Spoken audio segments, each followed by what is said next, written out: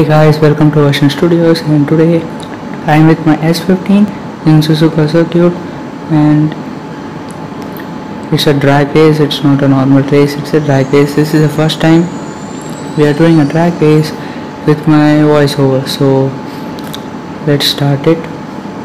I think the drag races are the only easiest races I have ever seen. Maybe it's not easy in the real life but it's very easy in the game world.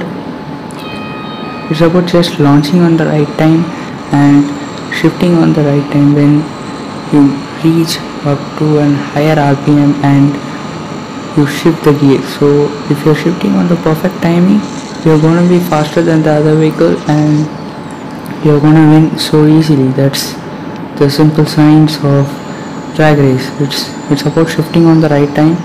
First of all it's about launching perfectly and it's about shifting on the right time. You have when you have to shift on the right time you have to focus more on the rpm when the rpm meter that is on the left side is reaching to the higher level then you can shift. You you can feel that. You can feel that when it goes to a higher level and when you shift on the right time your car is going to be faster than the other car and you're gonna win pretty easy.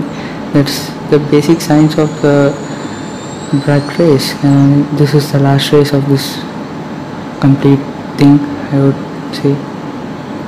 It's like a single race but if you join a single drag race you're gonna race three drag races into it.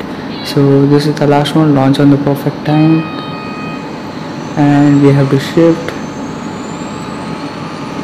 I shift a bit early because this thing is a slow car so you can't be quicker uh, with the BMW or the other things. So it's better. So this will be the video for today. Thanks for watching and please do subscribe and this will be Version Studios signing off